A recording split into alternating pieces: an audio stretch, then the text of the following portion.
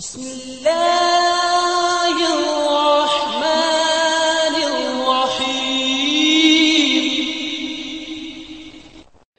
Dear students, this is 22nd lecture of organic based industries. The topic we are going to discuss is chemistry involved in processing of sulfite pulp. The pulp for paper making may be produced from virgin fiber by chemical or mechanical means or may be produced by repulping of paper for recycling. Paper production is basically a two-step process in which a fibrous raw material is first converted into pulp and then pulp is converted into paper. Sulfite process also spelled sulfite with pH chemical process for the manufacturing of paper pulp that employs an acid bisulfite solution to soften the wood material by removing lignin from cellulose. Sulfite cooking liquor used in the process consists of free sulfur dioxide obtained by burning of sulfur or by roasting of iron pyrites dissolved in water at a concentration of 4 to 8 percent with from 2 to 3 percent in the form of bisulfite. The sulfite digestion of wood material is normally carried out as a batch process in a pressure vessel that consists of a steel shell possessing an acid resistant lining. Key concepts that we will discuss in this lecture include following topics. First of all, we will have an overview of paper and pulp industry. Then we will see different types of pulp for paper industry. Then a brief history of sulfite pulping will be discussed. Then different ways of lignin isolation will be studied reactions involved in sulfite pulping, comparison of pulping processes, particularly focusing on reaction mechanism of kraft and sulfite pulping process. And in the last, we will see various properties and applications of different forms of technical lignin. The pulp and paper industry is one of the most important industries in the world. It supplies paper to over 5 billion people worldwide. Originally, paper making was a slow and laborious process.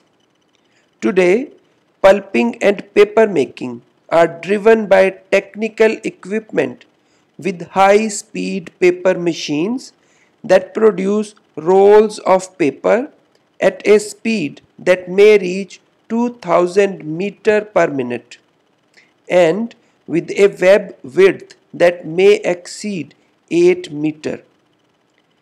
Paper is essentially a sheet of cellulose fiber with a number of added constituents when necessary to affect the quality of sheet and its fitness for the intended end use. The two terms paper and board generally refer to the weight of the product sheet grammage with paper ranging up to about 160 or 220 gram per meter square and a heavier sheet regarded as board. The grammage above which paper are called board, however, vary slightly between countries. In principle, paper is made by pulping, beating, diluting, suspending, forming a web, pressing the web, drying and finishing. Pulping is the process to separate and clean cellulosic fibers. Second step is beating and refining the cellulose fibers. Third step is diluting to form a thin fiber slurry.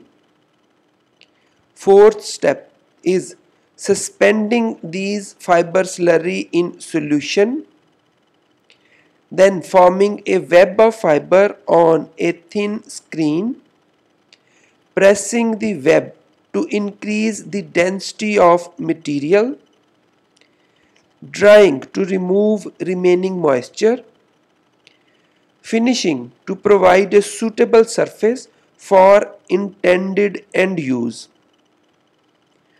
Pulp and paper are made from cellulosic fibers and other plant materials. Although some synthetic materials may be used to impart special qualities to finished product. Most paper is made from wood fibers but rags, flax, cotton linters and bagasse which is a sugar cane residue are also used in some papers. Used paper is also recycled and after purifying and sometimes de-inking, it is often mixed with virgin fibers and reformed again into paper. Other products made from wood pulp include diapers, rayon, cellulose acetate and cellulose esters which are used for cloth, packing films and explosives. Wood is composed of cellulose, lignin, hemicellulose and extractives. Cellulose comprises about 50% of wood by oven dry weight. This constituent is of primary interest in paper making. Lignin cements the wood fibers together. It is a complex organic chemical. Its structure and properties are not fully understood. It is largely burned for the generation of energy used in pulp and paper mills. As the chemistry of lignin becomes better understood, what is now mostly a waste product used for fuel could become a valuable feedstock for new chemical products. The objective of pulping process is to remove as much lignin as possible without sacrificing fiber strength. Thereby, freeing the fibers and removing impurities which cause discoloration and possible future disintegration of the paper. Hemicellulose plays an important role in fiber to fiber bonding in paper making. Several extractives, for example, oleoresins and waxes are contained in wood but do not contribute to its strength properties. These two are removed during the pulping process. The fiber from nearly any plant or tree can be used for paper making. However, the strength and quality of fiber and other factors that can complicate the pulping process varies among tree species. In general, the softwoods, for example pines, yield long and strong fibers that impart strength to paper and are used for boxes and packaging. Hardwoods, on the other hand, generally have shorter fibers and therefore produce a weaker paper, but one that is smoother, more opaque and better suited for printing. Both softwoods and hardwoods are used for paper making and are sometimes mixed to provide better strength and printability to the finished product. History of sulfite pulping started in late 18th century. In 1867, B.C. Tilghman patented a process in which the decomposition of wood was done with sulfurous acid or its salts were used for the production of fibrous pulp to manufacture paper. However, it was not until 1874 when the Swedish chemist Ekman marketed the first sulfite pulp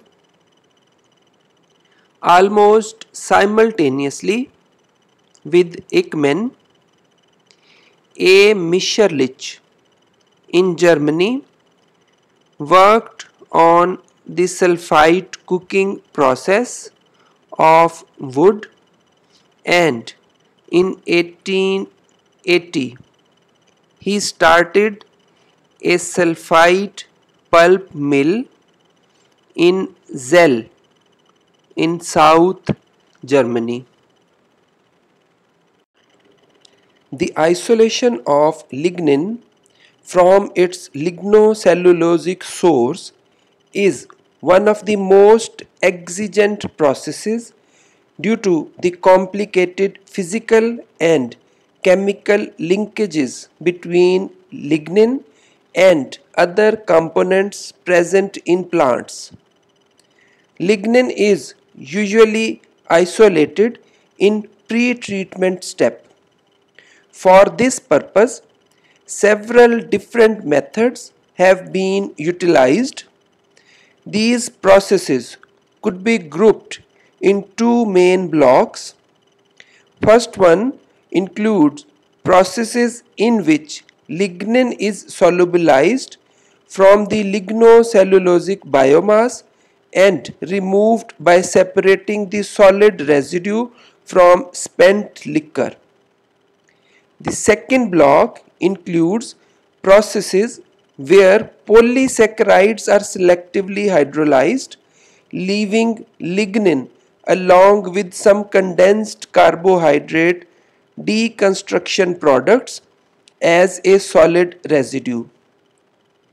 A good example of former group is a pulping process such as Kraft, sulfite or alkali. An example of later would be dilute acid hydrolysis of lignocellulosic biomass to yield sugar monomers, furfural and levulinic acid.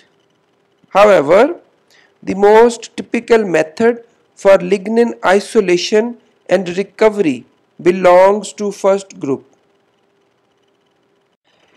In sulfite pulping, usually conducted under acid or neutral conditions.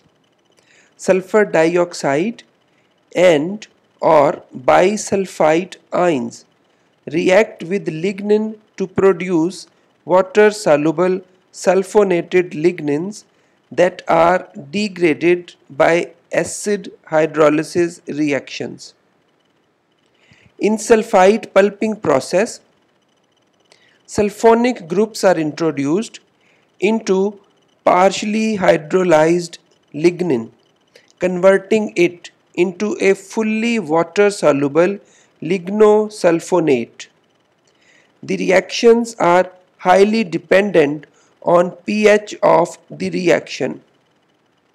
Under acidic pulping conditions, the oxygen of alpha substituent is substituted first by protonation and subsequently nucleophilic addition reaction occurs. Sulfite pulping can be controlled to produce pulps over a wide range of lignin contents and pulp yields. The residual lignin in sulfite pulps is sulfonated and is relatively easy to remove in pulp bleaching processes.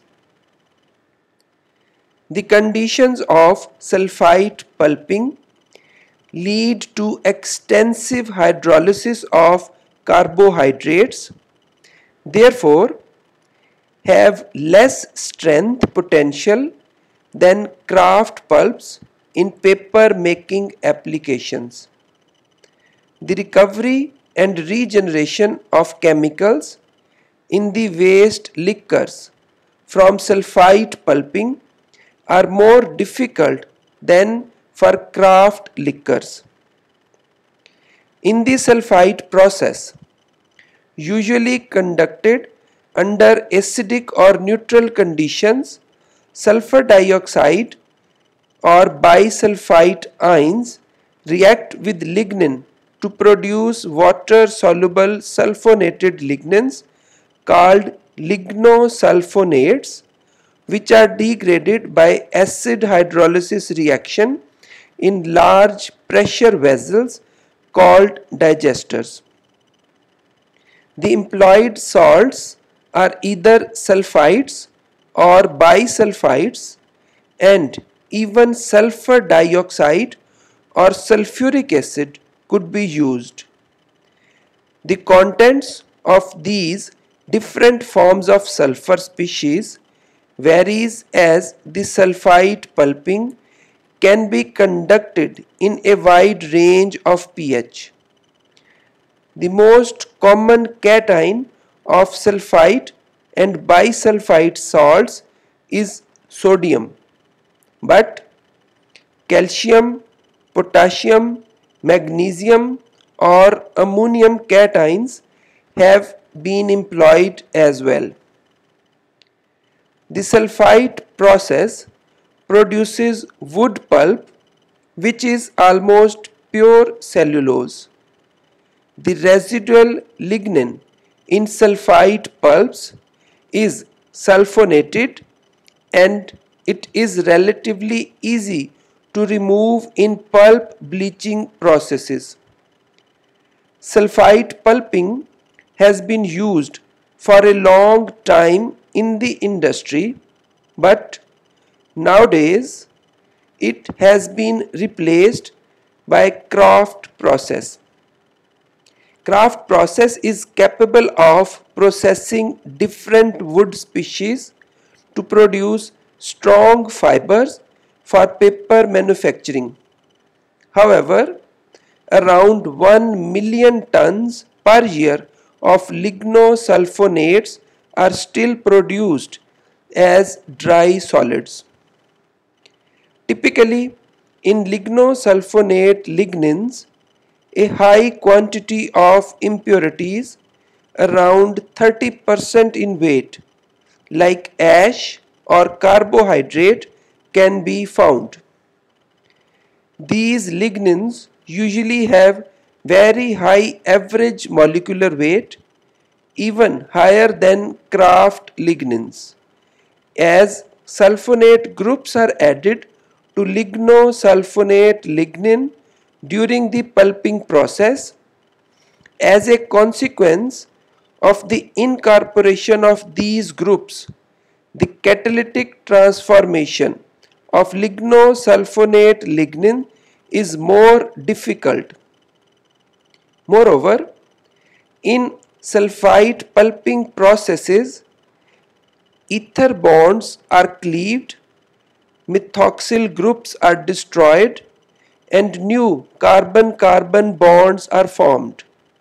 Nevertheless, the diversity of functional groups, phenolic, carboxylic and sulfur containing groups on lignosulfonate lignins offer exceptional colloidal properties which allows its use in applications such as dispersants, additives, plasticizers, surfactants, flocculants, etc.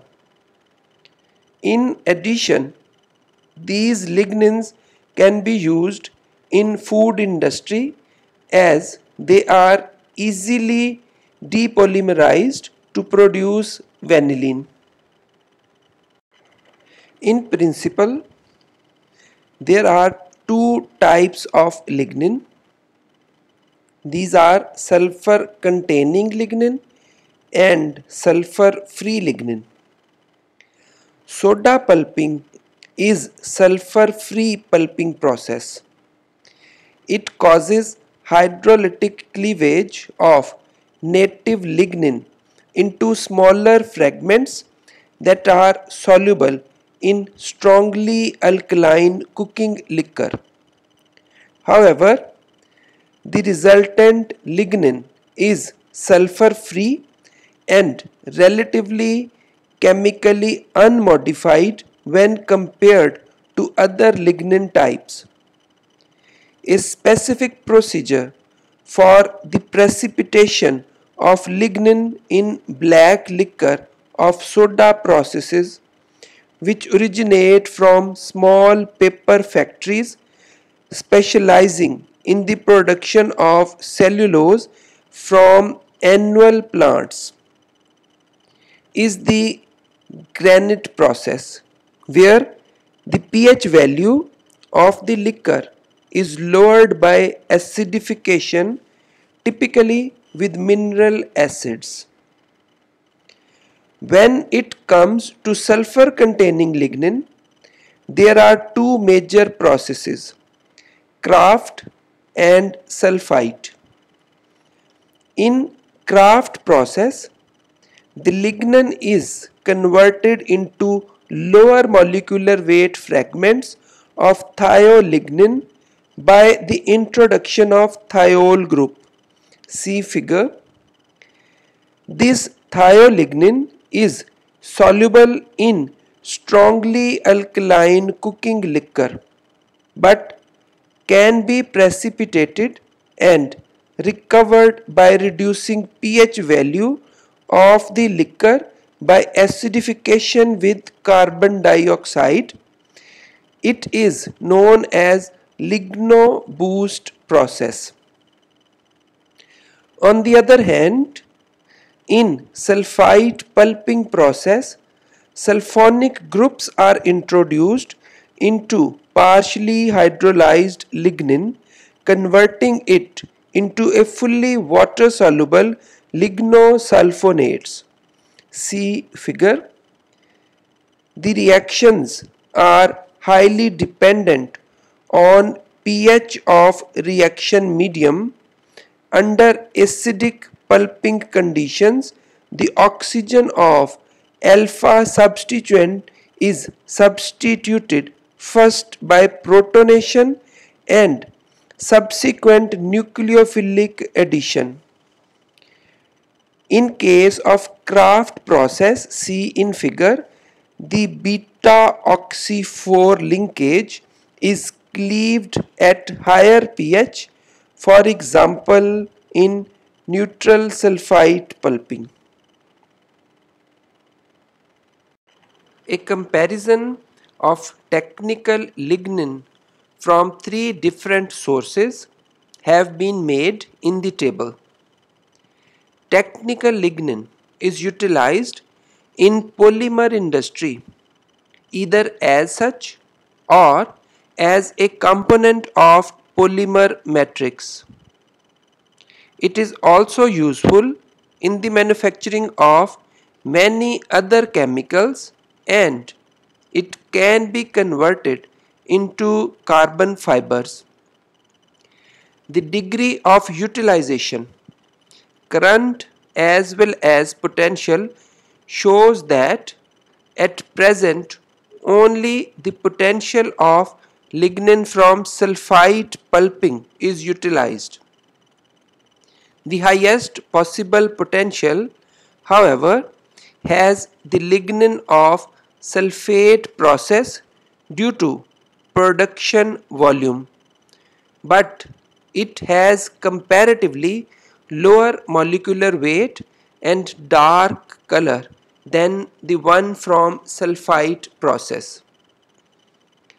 The soda process also has a high but so far yet unused potential for lignin production particularly because this procedure has a higher percentage of total pulping in comparison to sulfite process. This treatment is applied predominantly to the pulping of agricultural residual substances such as bagasse and straw.